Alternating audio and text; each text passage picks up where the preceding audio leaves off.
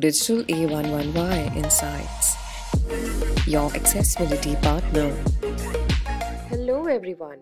Today's video is all about understanding SC 2.4.3 focus order, an essential criterion for making your web content accessible to all users.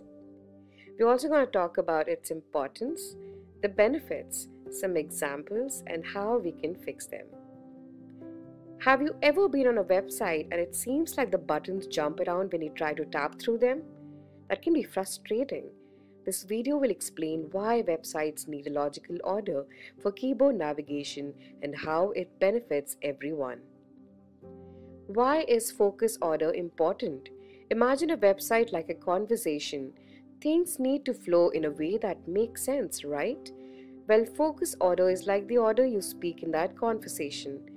It ensures users who navigate by keyboard, screen readers, or magnifiers access information in a logical way, building a clear picture of the website. Now, let's explore the benefits of a logical focus order. For people with motor disabilities who navigate using a keyboard, a logical focus order ensures ease of use.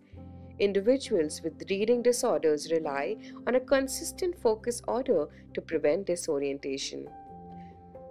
Blind users utilizing screen readers and keyboard navigation greatly benefit from a logical order to avoid confusion. Let's see some examples of a good focus order. In a web page with a tree of interactive controls, user can navigate using arrow keys. Pressing the right arrow key expands nodes in a logical sequence.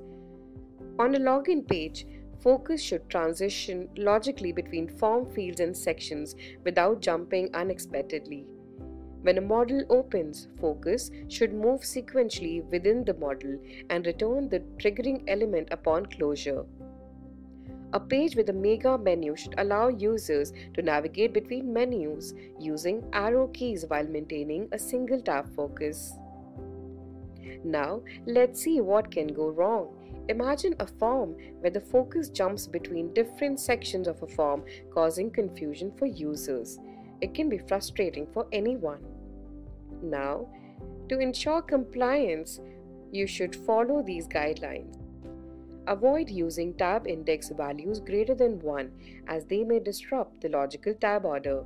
And align focus order with reading order to maintain a logical and intuitive navigation experience.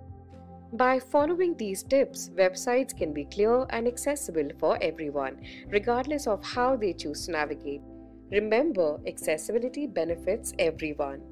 This is the end of the video. Thank you for watching. Let us know in the comments if you have any questions. If you like the video, do like and subscribe.